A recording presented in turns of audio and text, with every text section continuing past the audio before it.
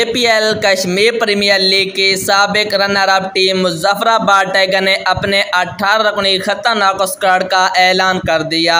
Muzaffarabad tiger के squad में कौन कौन से खिलाड़ी शामिल हैं? कप्तान कौन सा खिलाड़ी है? मुकम्मल तफसील देंगे इस वीडियो में। उससे पहले इस वीडियो को लाइक नहीं किया तो इस वीडियो को लाइक और चैनल को ज़रूर सब्सक्राइब कर लीजिए।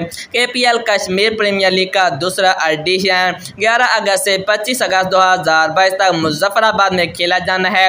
जिसमें सात टीमों ने शिरकत करनी है। केपीएल के ड्राफ्ट में तमाम टीमों ने अपने स्क्वाड मुकम्मल कर ली हैं, जबकि मुजफ्फराबाद टाइगर ने भी अपना अट्ठारह स्क्वाड का ऐलान किया है।